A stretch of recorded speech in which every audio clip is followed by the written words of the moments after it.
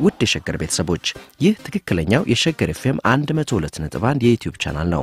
ማራኪ ፕሮግራሞቻችንን መከታተል ትችሉ ዘንድ ቻናላችንን subscribe እንድታደርጉ እንጋብዛለን። እናመሰግናለን።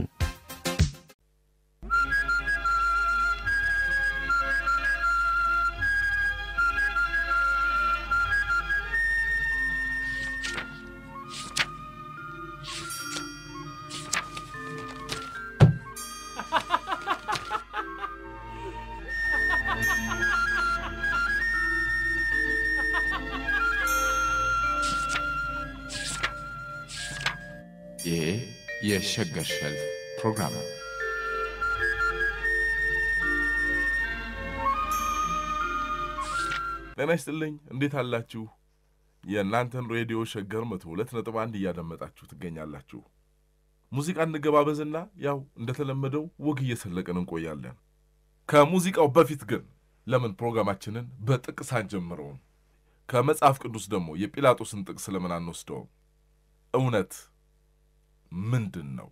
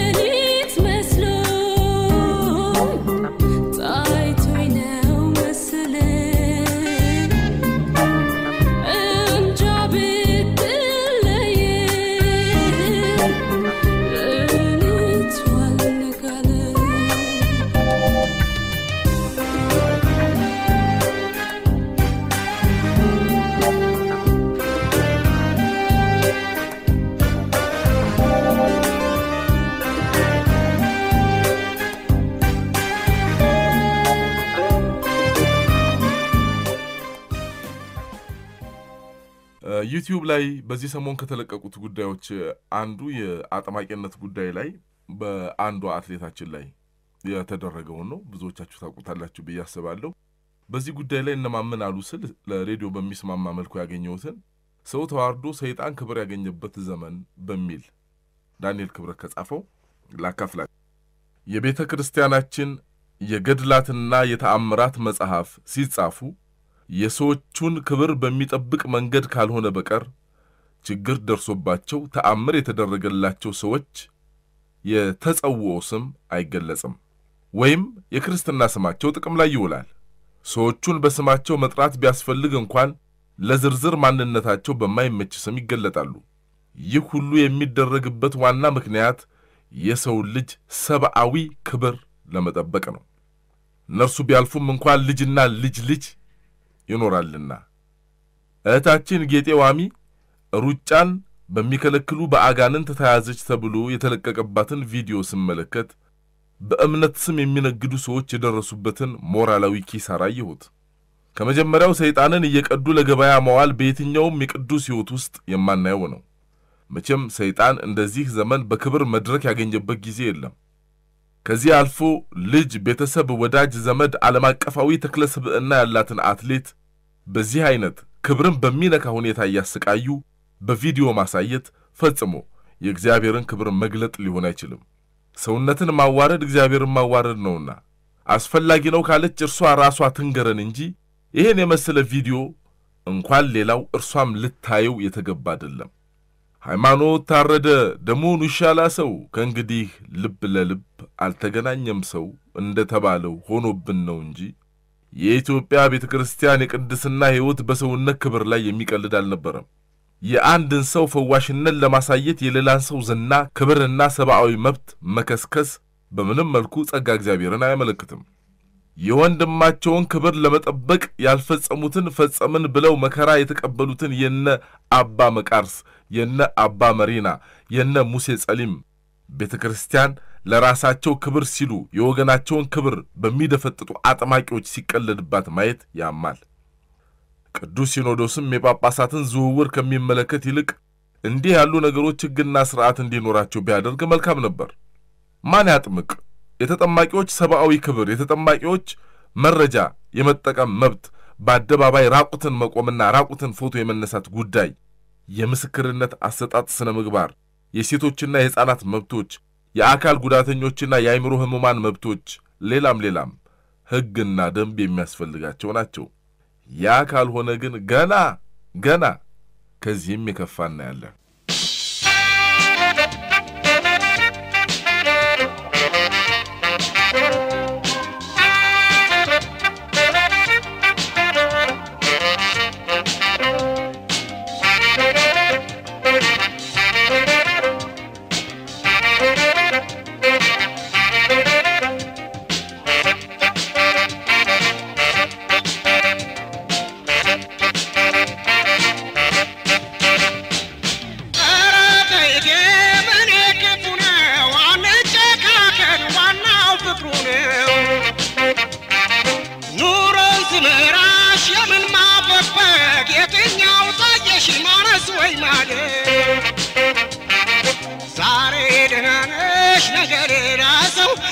ታጣብሽ ሆዴን ጎድባሰው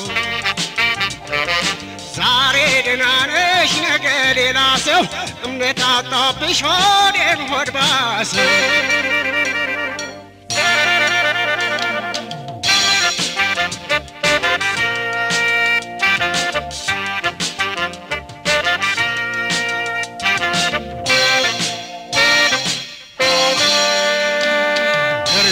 ደግነት መውደድን ካስጠቃን እጅን ካስነከሰው መጣጣም ከጠፋ ጎጆን ካፈረሰው።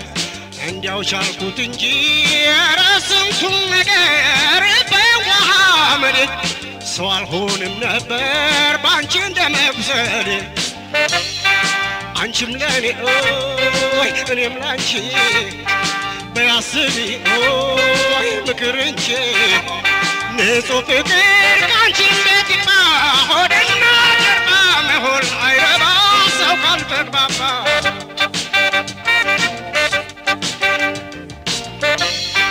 አንዱ ለአንዱ ኦይ ካላሰበ ስቆ መደር እየካበ እርስ በርሱ ሰው ከጨከነ ፍቅር አይደለም ካልተማመነ ካልተዛዘነ።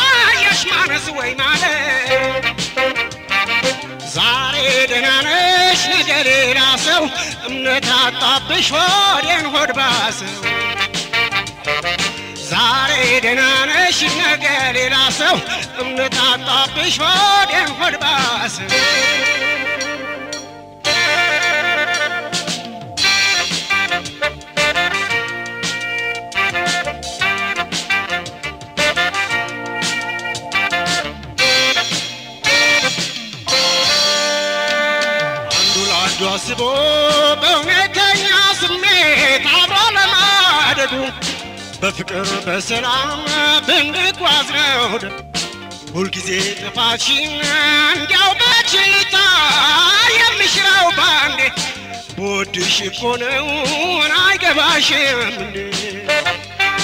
አንቺም ለእኔ ሆይ እኔም ላንቺ በያሰበ ሆይ ምክር እንጂ ፍቅር ከአንቺም ቤት ይግባ ሆድና ጀርባ በውን ላይ ረባ ሰው ካልተግባባ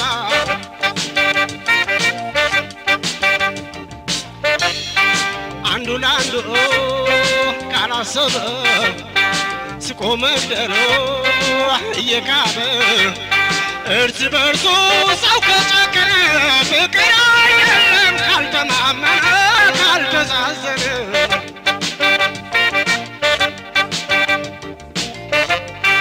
አንቺም ሆይ እኔም ላንቺ ቢያስቢ ሆይ ምክር እንጂ ንጹህ ፍቅር ከአንቺም ቤት ይግባ ሆድና ጀርባ በሆን ላይ ረባ ሰው ካልተግባባ።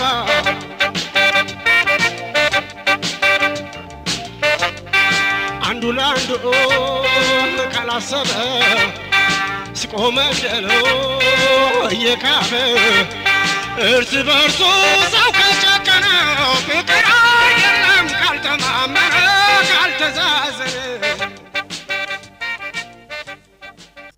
ወሪሳ የውድቅት ፈለጎች በሚል አለማየሁ ገላጋይ ከጻፈው መጽሐፍ ደግሞ ቀንጨብ ቀንጨብ አርገን እስኪናውሰው ጆቤራ መሬት ለቀው ቢሰክሩም ወሬያቸው እንኳን ሊንገዳገድ ሳቅም አይል።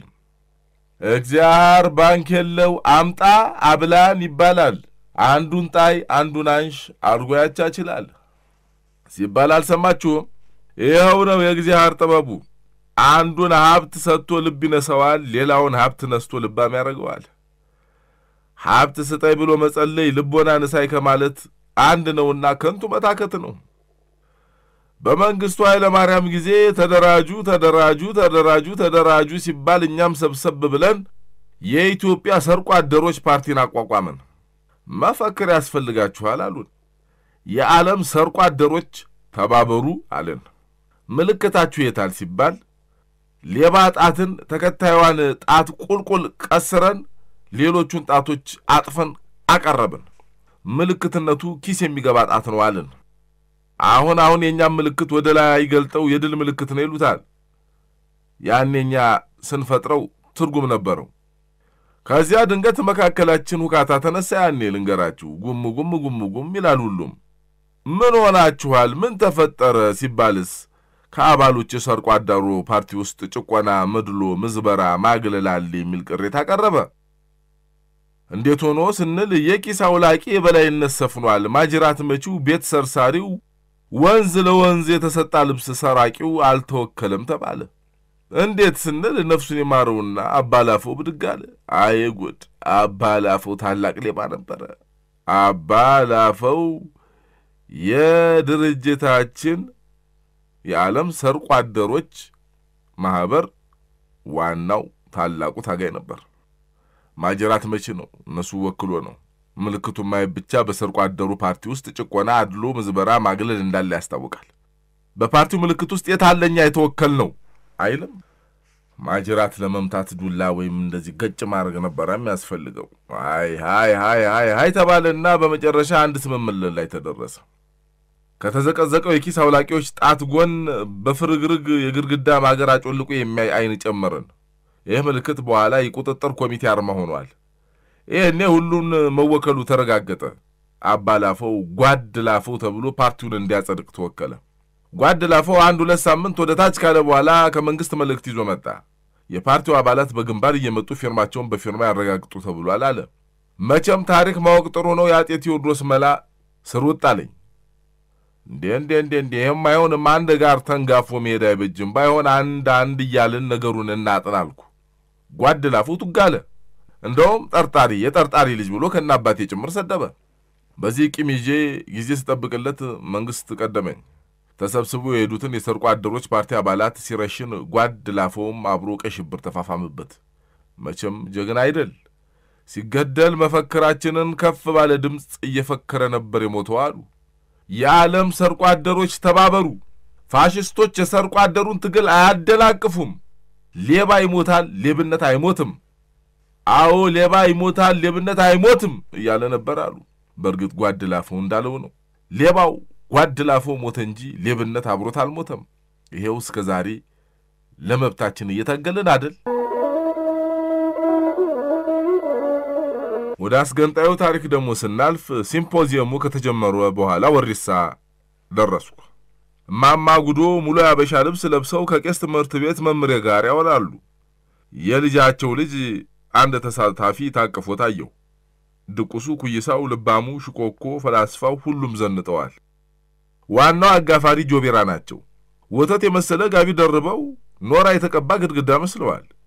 እንግዶቹን ወደ ባህልና ታሪክ ሲምፖዚየሙ አመራን። በትልቅ ዳስ ውስጥ የተለያዩ ቁሳቁሶች፣ ፎቶዎች፣ አልባሳቶች ይታያሉ።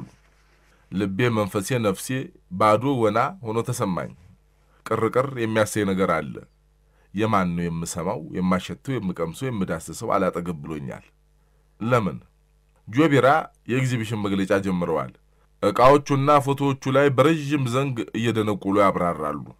ይሄ አሉ ጆቢራ አንድ ከፍተኛ ሙሉ ድንጋይ ላይ ጠቁመው፣ ይሄ በወሪሳዎች የድልድይ ዘመን የነበረ መሳሪያ ነው። በዚያ ባልሰለጠነው ጊዜ ወሪሳዎች ይህንን ድንጋይ በመጠቀም ለሥራ ይንቀሳቀሱ ነበር። ማለቴ የሚዘርፈውን በዚህ ድንጋይ ከኋላ በመምታት ኪሱን ይበረበሩ ነበር። ይሄ አንድ እህል ውሃ የማያሰኝ ዱላ ጠቆሙ። ከድንጋይ ዘመን ጥቂት ተሻሽሎ ብቅ ያለ የዱላ ዘመን ነበር። እኔ ከውስጥ የሚጎተጉተኝ ስሜት የጆቢራን እንዳላዳምጥ እየተከላከለኝ ይገኛል። አፍ እንዳልፈታ ልጅ ውስጤ የሚፈልገውን ከመናገር ይልቅ ይንቅጭቅጭልጭልጭል ይበኛል። ምንድን ነው ይሄ? አባላፈው ከአፄ ቴዎድሮስ ያጭበረበረው የሹመት ልብስ ነው። አብረውት ያሉት በየደረጃው ላሉ የዘመኑ ወሪሳዎች የተጨበረበሩ የሹመት ቀሚሶች ናቸው። ይሄ የአባ መንትፍ ልጅ አባ ንጠቀው ጠላቱን ያሳበደበት መሰረቂያው ነው። ይሄ ዘመናዊውን የወሪሳ ጊዜ የሚያንጸባርቅ የቦርሳ ማስገሪያ መንጠቆ ነው። ይገርማችኋል። እነዚህ ፎቶዎች የሚያሳዩት ከወሪሳ ሕዝብ በግፍ የተዘረፉ ሐውልቶች፣ ምልክቶችና የመገላገል መሳሪያዎች ናቸው። አሁን ደግሞ ወደ ወሪሳ ራዕይ እንሸጋግራለን። ወሪሳ በሐቀኛ ልጆቿ ጭቆናን፣ የበታችነትን፣ መናቅን አስወግዳ ከዚህ ደርሳለች። እነ ጓድ ላፈው ደማቸውን አፍስሰው አጥንታቸውን ከስክሰው ለዚህ ራዕይ አብቅተዋታል። እዚህ ጋር የምትመለከቱት አሉ የአምስት ዓመቱን የወሪሳ የልማት ራዕይ ነው። በአዲሱ የልማት ስትራቴጂ መሠረት ባህላችንንና ታሪካችንን ያገናዘበ ወሪሳ በቀል ማሰልጠኛ ማዕከል፣ ሰርቆ ማሳያና ማሰራረቂያ ማሳያ ዩኒቨርሲቲ እንገነባለን። እነዚህ ሦስቱ ፕላኖች የሕንፃ ግንባታዎችን የሚያሳዩ ናቸው። ተቃውሞ! ሁሉም መለስ መለስ እያለ የተቃውሞ ባዩን ተመለከተ። እማማ ጉዶ ነበሩ። ተቃውሞ አለኝ አሉ። ተቃውሞሽም በአጠቃላዩ ህዴድ ማዕከላዊ ኮሚቴ ስብሰባ ላይ እንድታቀርቢ ተነጋግረን የለም አይሆንም። የሲምፖዚየሙ ተሳታፊ ሁሉ እንዲሰማኝ ይፈልጋሉ። እዚህ የምታዩት የወሪሳ የልማት ራዕይ ሁሉንም ወሪሳዊ ያማከል አይደለም። በተለይ የደቡቡን ወሪሳ ሕዝብ ከተጠቃሚነት ያገለለ ነው። ስለዚህ እኛ ደቡብ ወሪሳዎች የራሳችንን ዕድል በራሳችን ወስነን ከሰሜኑ ጨቋኝ አገዛዝ እንገነጠላለን። በቅርቡም የራሳችንን የባህል፣ የታሪክ፣ የልማት ራዕይ ሲምፖዚየም እናዘጋጃለን። የደቡብ ወሪሳ ሕዝቦች ዴሞክራሲያዊ ድርጅት ሲምፖዚየሙ ላይ በይፋ ይመሰረታል። እናሸንፋለን። ጨረሱ። ነጠላቸውን ከፍ ከፍ እያደረጉ ሄዱ። ወሪሳ የእርስ በርስ ጦርነት እንደሚያሰጋት ሆኖ ተሰማኝ። ለመሆኑ የአክስቴ ቤት ሰሜኑ ነው ደቡቡ? ጥቅሜን የሚያስጠብቀው ወገን የጆቢራ ነው የማማጉዶ? ከዚህ በኋላ ያለው የሲምፖዚየም መንፈስ የቀዘቀዘ ነበር። ኩይሳው ልባሙና የማማጉዶ የልጅ ልጅ ባልቴቷን ተከትለው ሄዱ። እኔም ከራሴ ጋር መደባበቄን ትቼ የአክስቴን ቤት ለመመልከት አመራው። ከበስተኋላዬ ጆቢራ ጠራኝ። ዞር አልኩ። ከገንጣይ ወንበዴ ጋር ማበርህ ነው አሉኝ። ኧረ እኔ ሁሉንም አውቀናል። የሪ በከንቱ አስገንጣዮች ተላላኪ መሆንህን ደርሰንበታል። ለገንጣይና ለአስገንጣይ ሴራ ወሪሳ አትበገርም አይሉኝም? ምንድን ነው? እኔ እኮ አልገባኝም ጎበዝ። ገንጣይ አስገንጣይ ምንድን ነው ጉዳዩ? ኧረ ምን ነው እግሬን በሰበረው? ኧረ ምን ነው ባልመጣሁ? እኔ የማይሆንልኝ ነገር ውስጥ ነው የገባሁት። ርርርርርርር ምን ጉድ ነው? ገንጣይ አስገንጣይ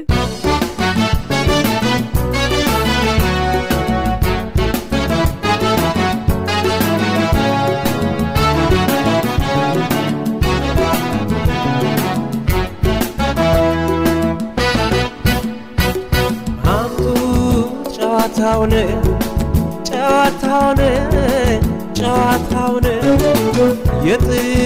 የጠዋቱን ሰላንትያውን ሰላንትያውን አምጪ ጨዋታሽን ጨዋታሽን ጨዋታሽን።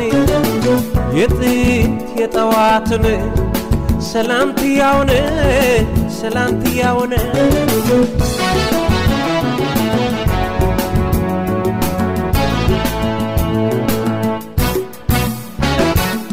ሰላምትያ በምንትያ በምንትያ በአይንሺ ምን አለ በአይኔ በአይኔ? ስንቱን አናገርሺ ተቀምጠሽ ጎኔ ያየሽውን ሁሉ ዘመዴ ብለሽ የሰው ዘሮች እናት ሔዋንን መሰልሽ አስደነቅሺ ከልብ አስገረምሽ አስደነቅሽ ከልብ አስገረምሽ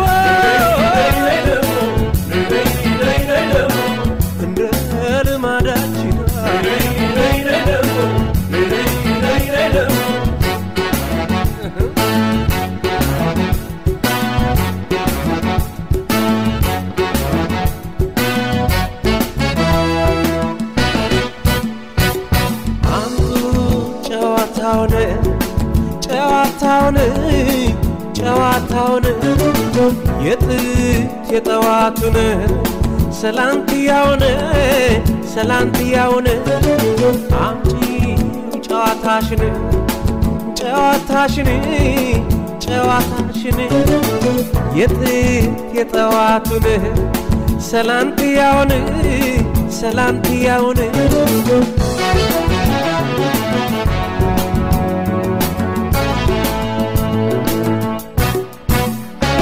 እንቺ ሰላንትያ በምንትያ በምንትያ በፍቅርሽ በፍቅርሽ ውይ ውይ ውይ ውይ ውይ ውይ ውይ አ፣ ምን ምናለ በፍቅሬ በፍቅሬ ስንቱን ተመለከት ከአንቺ ጋር ዞሬ አጣሁልሻቸው በሰፈር ልጅ ብዛት አስተዳድረሻለሁ የአዲስ አበባን ግዛት አለመስማት ወይ መካሪ ማጣ አለመስማት ወይ መካሪ ማጣ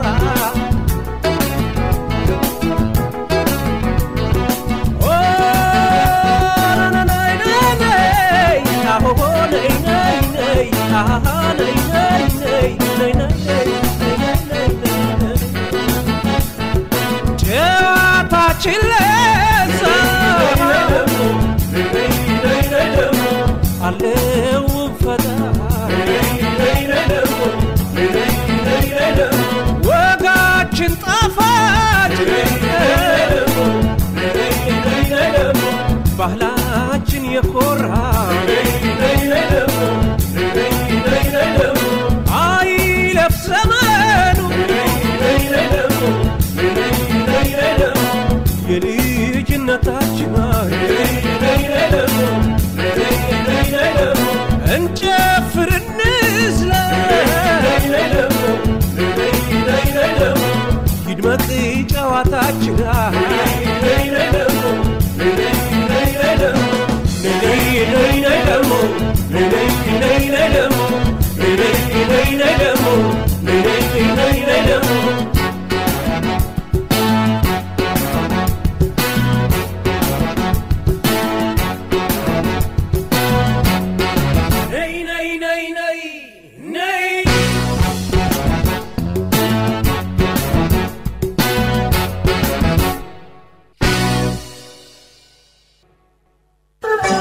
ሻንጋይ ማሽነሪ ኢንጂነሪንግ ኃላፊነቱ የተወሰነ የግል ማህበር የብሎኬት ማምረቻ ማሽን፣ mixer፣ የኮንክሪት ቱቦ ማምረቻ፣ የኤሌክትሪክ pole ማሽን፣ ልዩ ልዩ ዘመናዊ የኮንስትራክሽን ዕቃዎችን እዚሁ ኢትዮጵያ ውስጥ ገጣጥሞ ይሸጣል። ሻንጋይ ማሽነሪ ኢንጂነሪንግ ኃላፊነቱ የተወሰነ የግል ማህበር ዱከም መንደሎ አካባቢ ኤልስዊዲ ኬብል ማምረቻ አጠገብ ይገኛል።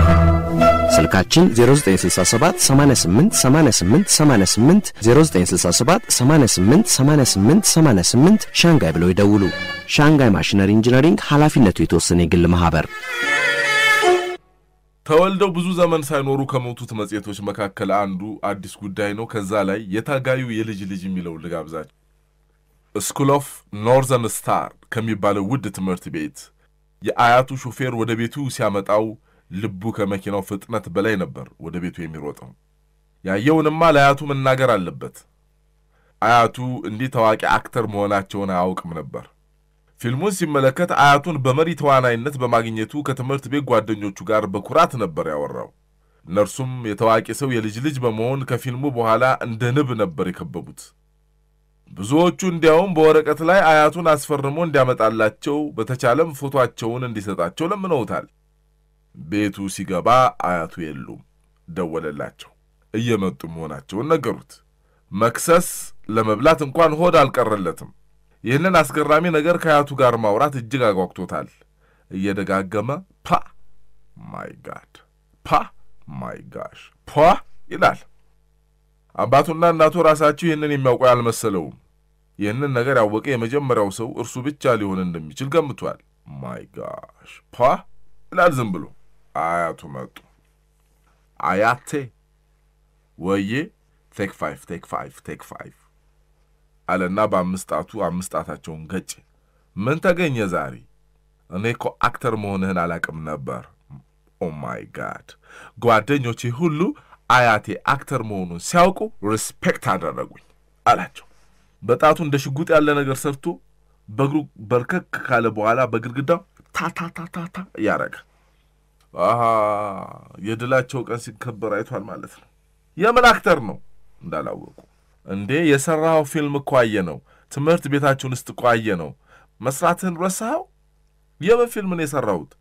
action ፊልም ሰርተሃል እኮ እንዴ! ፓ ትልቅ gun ይዘህ ተራራራራራራራ ስታረግ ጓደኞች ጨብጨብጨብጨብ ሲያደርጉልህ እስታር አንተ ነበርክ እንዲያ ኢነሚዎች ሲተኩስብህ እኮ ዘለ ገደል ውስጥ ገባ።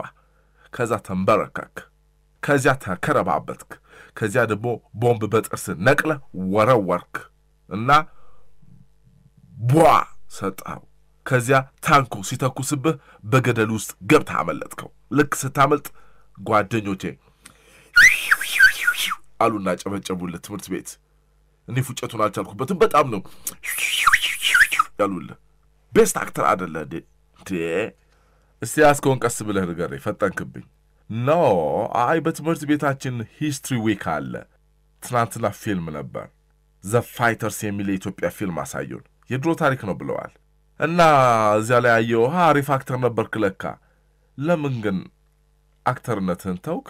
ነጋዴ ከመሆን ዝም ብለህ ብር ከምትቆጥር እኮ actor መሆን ይበልጣል። Dad ቃቃቃቃ ድው ድው ድው ድው አንተ የት ነው ያለው? በጣም ደስ ይላል Dad። እንዴ ጓደኞቼ ግን በጣም ነው ያደነቁ። አንተ actor መሆንህን ሲያዩ ከበቡኝ። አሁን በደንብ ገባቸው። የተከበረውን የድል ታሪካቸውን ተንተርሶ በሰው እየቀለደ ነው። እውነተኛ ታሪክ እኮ ነው ያየኸው። based on true story ነው። no no no no no ያ የእኛ የታጋዮች ታሪክ ነው። actor ኡ እኛ አይደለም። አንተ ብሽቅ ከደርግ ጋር ያደረግነውን ውጊያ ፊልም ነው እንዴ ብለው የሚያሳዩአችሁ ትምህርት ቤት እንዲህ አይነት ትምህርት ቤት ነው እንዴ ያስገባሁህ እንዴ? እንደ ደርግ ሆኖ የሰራው actor ማን ነበር እንዴ? ታንክ ምናምን እየነዳ ቡልቅ አድርጎ ሲተኩስ ፓ አንተ ይህ እኮ ፊልም አይደለም ነው የምር የተደረገ ታሪክ ነው እንዴ? አያቴ አንተ fighter ነበርክ እንዴ? አዎ። gun ምናምን ይዛ አዎ። my God ሰው ገለሃል? እንዴት አድርገው ነው የሚያስረዱት? ግራ ገባቸው። ስቅጥጥ አለው እሱ እርሱ ደግሞ አያቴ actor ነበሩ ብሎ ያገኘው ክብር ሲናድበት ታየው። አየህ ድሮ ደርግ የሚባል መንግስት ነበር ብለው ሲጀምሩለት ደርግ ምን ማለት ነው? ዳርግ ዳርግ ማለት ነው? እዚህ ፊልም ውስጥ ደርግ ደርግ ደርግ ደርግ ይል ነበር። እኛ እኮ የ actor ስም መስሎን ነበር። አንገታቸውን ከግራ ወደ ቀኝ እየነቀነቁ ለማስረዳት ቃላት ፍለጋ ገቡ። እርሱን ለማስወገድ ጫካ ገብተን ብዙ ዓመት ተዋግተናል። ለምን ታስወግዳላችሁ? ፊልሙ ራሱ ያልቅ የለ እንዴ? ፊልም አይደለም አልኩ እኮ አንተ በጥፊ እንዳልል። ቆይ ግን beach አካባቢ ነበር እንዴ fight የምታደርጉት? እንዴት ቁምጣ ብቻ ነበር ሁላችሁም ያደረጋችሁት? ግን እይ አለና እንደ መጽሔት ይዞላቸው መጣ። የፋሽን መጽሔት ነው። እዚህ ቤት ደንበኛ የሆነ መጽሔት ነው። ኢ ጸጉራቸውን እንደ አቁመው የሚበትኑ እኮ ሴሌብሪቲስ ናቸው። እይ ዘፋኞቹና የፊልም ተዋንያን እዚህ መጽሔት የፊት ለፊት ሽፋን ላይ ጸጉራቸውን አንጨብረው ተነስተዋል። actor ካልሆናችሁ ጸጉራችሁን ለምን እንደዚህ ያደረጋችሁ? እኛ እኮ ትግል ላይ ነበርን። እንደ እናንተ ንጽሕና ለመጠበቅ ገላ ለመታጠብ ጸጉር ለመቆረጥ ጊዜ አልነበረንም። እና ሻወር አትወስዱ ማለት ነው ፊልም ስትሰሩ? miss ዝም ትላችኋለች። በእኛ ጊዜ miss የለም። አንተ እንዴት miss የሌለ ትምህርት ቤት አለ እንዴ? እንደዚህ አይነት ትምህርት ቤት በ Ice Age ጊዜ ብቻ ነው ሊኖር የሚችለው። እኛ እንደ እናንተ የመማር ዕድል አላገኘንም እኮ ነው የምልህ። አንተ ትግል ላይ ነበርን። fight ብቻ ነበር ስራችሁ ማለት ነው። እኛ እንግዲህ ለምን dad fight አታድርጉ ይለናል። እኔና ሳሚ እኮ water gun ይዘን fight ስናደርግ fight ጥሩ አይደለም ይላል ነው። እናንተ ግን አባታችሁ ዝም ይላችኋል እንዴ? ወይኔ ታድላችሁ። እስኪ dad ን አስፈቅድልን፣ እኛም fight እናርግ። fight ማድረግ እኮ ጥቅም የለውም። ታዲያ እናንተ ለምን fight ታደርጋላችሁ? እኛ እኮ ከደርግ ጋር ነው fight ያደረግነው። በቃ ምን ችግር አለው ታዲያ? ወይኔ ወይ ሳሚ ደርግ እንሆናለና። ይኸውልህ ጃክ፣ ወደፊት በደንብ አስረዳሃለሁ። አሁን ገና ልጅ ነህ።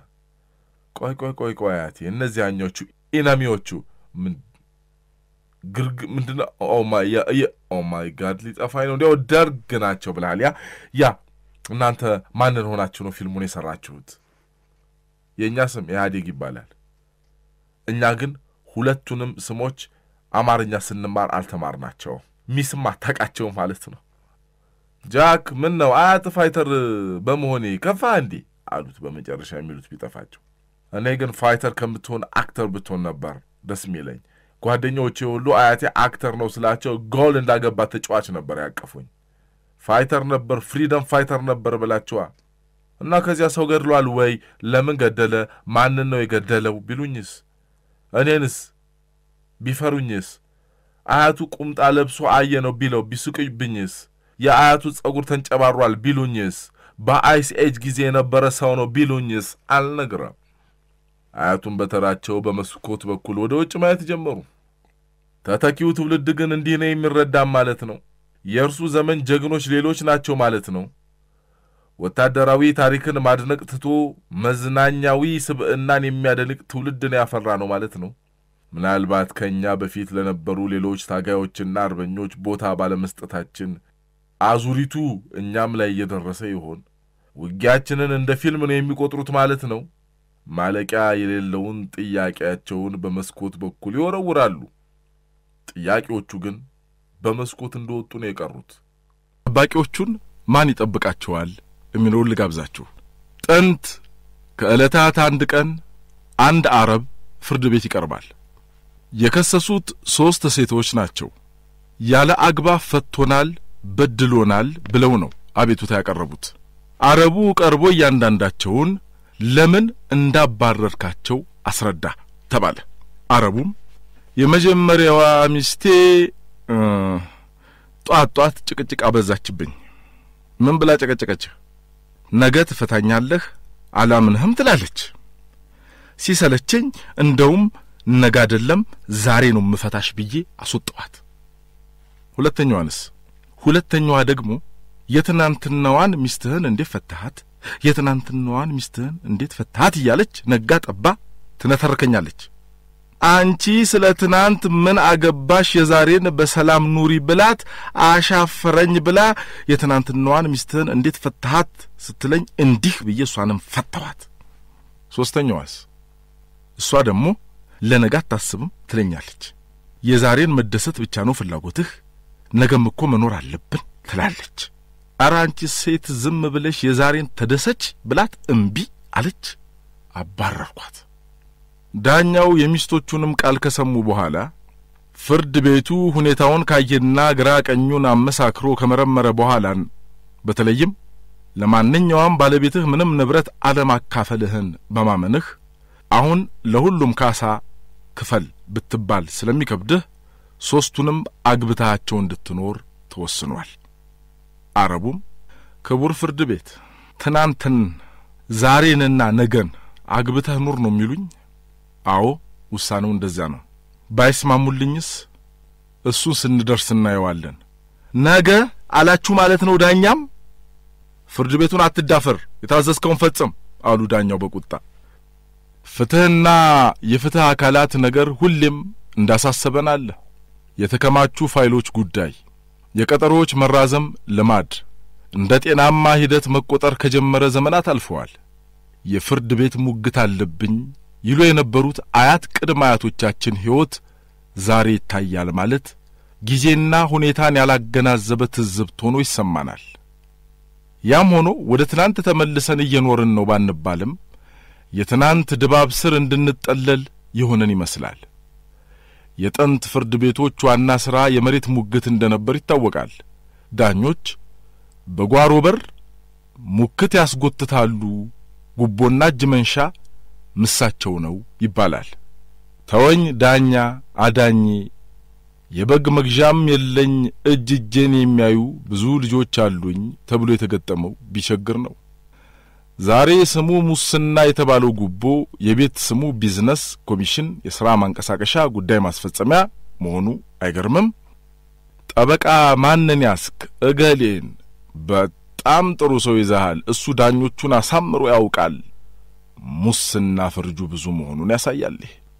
የፖሊስ ጣቢያ እስረኛ ስልኩ ተወስዶበት በፖሊሱ ሞባይል ወደ ዘመዶቹ ለመደወል ብዙ ብር የሚከፈልበት አገር ፍትሕ እንዴት እንደሚገኝ ግራ ይገባል። ይሄ ማለት በእርግጥ ሐቀኛና ጠንካራ አካላት የሉም ማለት አይደለም። ይዋጣሉ ነው ችግሩ። የሚገርመው በየመስሪያ ቤቱ ሲዘርፍ የከረመው ሁሉ አንደኛ የፍትሕ ተቆርቋሪ ሆኖ መገኘቱ ነው። ዙሪያ ገባው ከልሂቅ እስከ ደቂቅ ሌባ ሌባ ሌባ ሌባ እያለ እየጮኸ ሳር ቅጠሉን የሚግጥ ነው። ከቤተሰባዊ የኮንትሮባንድ ንግድ ጀምሮ እስከ ኩባንያዊ ሽቀላ ድረስ አገሩን ያምሳል። ዛሬ ለበላይ አካል የሚያስፈልገው ጥያቄ የት ቦታ ሙስና አለ ሳይሆን የት ቦታ ሙስና የለም የሚለው ነው። የመፍትሔው ቁልፍ ጥያቄ የበላይ አካልን እገሌ ከእገሌ ሳይሉ መፈተሽ ነው። ሐቀኛ ጥናት ማካሄድ፣ በሽርክና የተገባባቸው ንግዶችን፣ የኮንስትራክሽን እንቅስቃሴዎችን፣ በልማት ስም የሚሰሩ ደባዎችን ደፍሮ ማጣራትና ማጥራት ነው። አንድ ጸሐፊ እንደጠየቀው ይሄ የበላይ አካል ማለት የብዕር ስም ነው እንዴ ተብሎ መጠየቅ አለበት። የበላይ አካል ምስጢር መሆን የለበትም። በተማሪው ለመተማመን አስተማሪውን መመርመር ነው።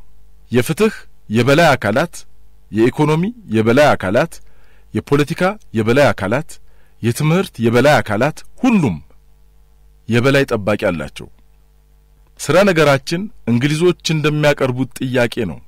ጠባቂዎቹን ማን ይጠብቃቸዋል አይነት ጠባቂዎቹን ማን ይጠብቃቸዋል እንበልና ላዕላይ ጠባቂውንም በጥበብ እንመርምር።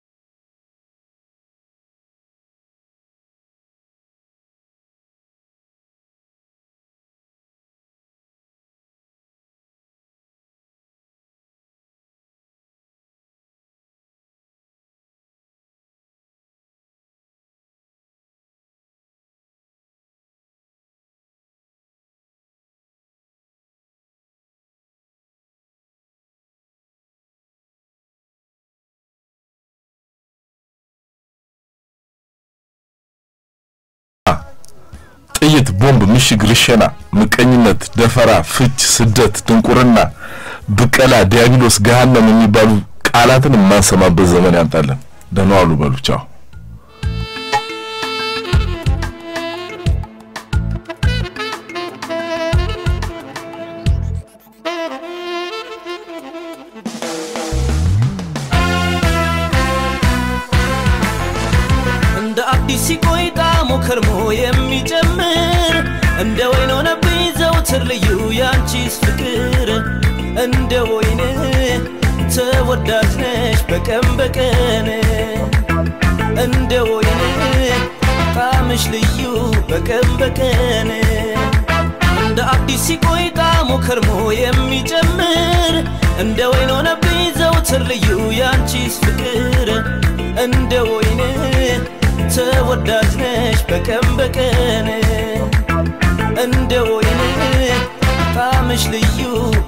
በቀን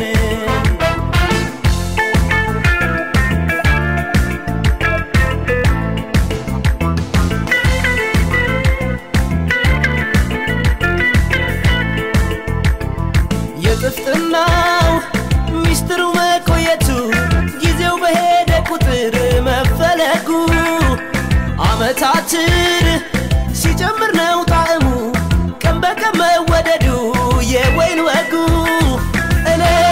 በለት አዲስ ጊዜው ሲርቅ ሲሄድ እንደ ወይን ሆነብኝ የኔና አንቺስ መውደድ ተመኘው በግድ እስክንቀር ሳፈቅርሽ ልኖር አብሬ እድሜ ማምሻ ድረስ ጉም እስኪመስል ጠጉሬ እንደ ወይን ተወዳጅ ነሽ በቀን በቀን እንደ ወይን ጣዕምሽ ልዩ በቀን በቀን እንደ ወይን ተወዳጅ ነሽ በቀን በቀን።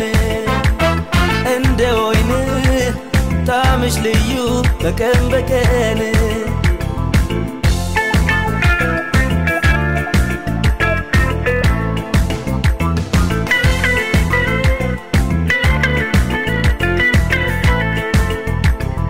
አንቺ ወይኔ ይሄ ልቤ ማደጋሽ ፍቅርን ማስቀመጫ ማደሪያሽ ጣዕም አልባ ወና ውስጠቴን ደርሰሽ በደስታ ባሴት የሞላሽ።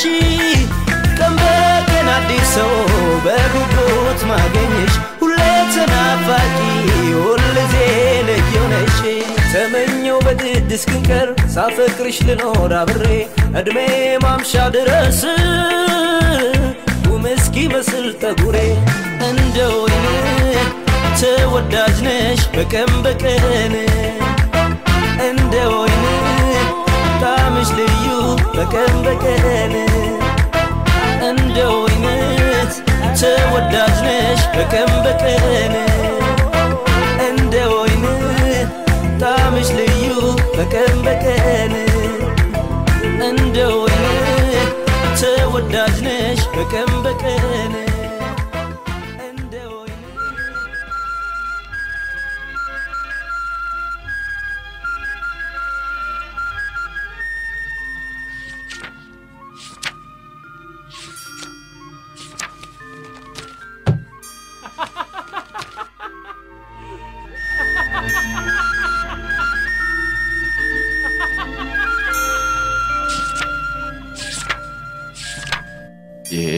ես չգշել պրոգրամը